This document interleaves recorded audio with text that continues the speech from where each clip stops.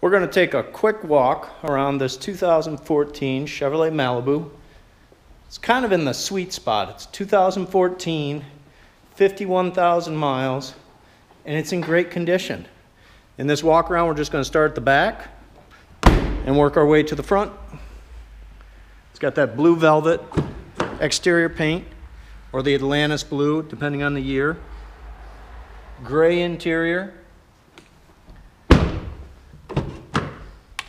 Power windows, power locks, manual seat adjustments, cloth interior, nice gray cloth interior. This car's really in nice condition.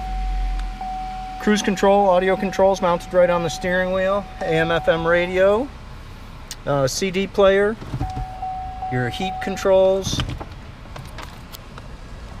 OnStar available with a subscription. We'll hop out and look under the hood.